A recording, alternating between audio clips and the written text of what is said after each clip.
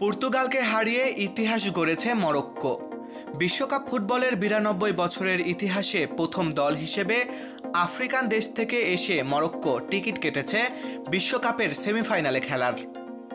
পর্তুগালের বিপক্ষে জয়ের পর মাকে নিয়ে মাঠে নেমে, নেচে নিজেদের জয় উদযাপন করেছেন মরক্কোর খেলোয়াড় সোফিয়ান বুফাল, যা ইন্টারনেট জগতে ভাইরাল হয়েছে। মরক্কোর কাছে হেরে পর্তুগিজরা যখন হারের বিষাদে চোখ মুছতে ব্যস্ত, তখন উল্লাসে ভেসে বেড়াচ্ছিলেন মরক্কোর ফুটবলাররা। তাদের উদযাপনে ছিল ভিন্নতা। কেউ সৃষ্টিকর্তার প্রতি কৃতজ্ঞতা জানাতে মাঠে লুটিয়ে পড়েছেন সিজদায়, আবার কেউ টি শার্ট খুলে ঘোরাচ্ছেন।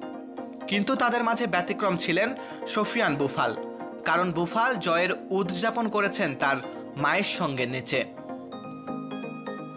ফুটবল মাঠে মায়ের সাথে বুফালের রোমাঞ্চকর এই দৃশ্য যেমন ফুটবল ভক্তদের মন শীতল করেছে, তেমনি টানেল দিয়ে কাঁদতে কাঁদতে বেরিয়ে যাওয়া ক্রিশ্চিয়ানো রোনালদোর কান্না দেখে ফুটবল ভক্তরাও কেঁদেছে। বিশ্বকাপ ফুটবলের মাঠ থেকে রোনালদোর কান্নাজনিত বিদায় যেমন কষ্টের, তেমন মরক্কোর এক আনন্দের ইতিহাস। মারুফ হাসান বিশাল, বাংলার দশ।